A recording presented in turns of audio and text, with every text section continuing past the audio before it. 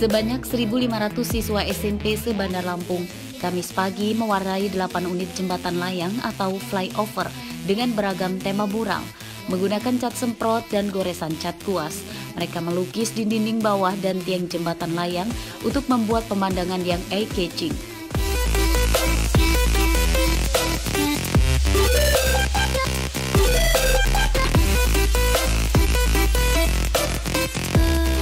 Mulai gambar tokoh kartun hingga gambar rangkaian bunga panjang yang membawa pesan moral tentang kedamaian dan keramah tamahan masyarakat di Bandar Lampung.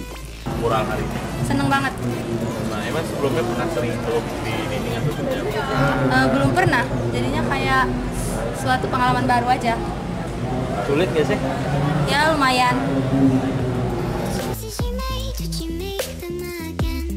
Mural di bidang dinding yang luas di 8 unit jembatan flyover ini merupakan bagian dari rangkaian peringatan Hari Ulang Tahun Kota Bandar Lampung ke-337 tahun.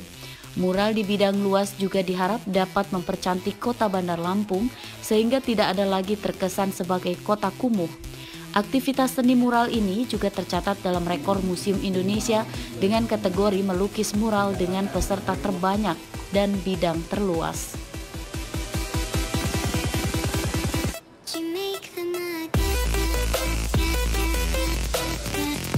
Yang ke-337.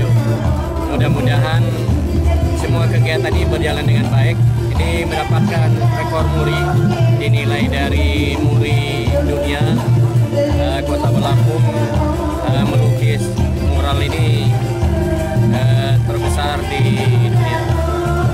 Melibatkan anak-anak SMP semua, pelukis-pelukisnya anak SMP semua.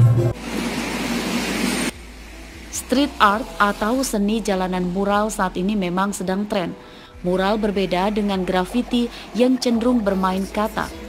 Mural merupakan ekspresi seseorang atau kelompok yang dituangkan di coretan dinding. Jeffrey Arifin melaporkan dari Bandar Lampung.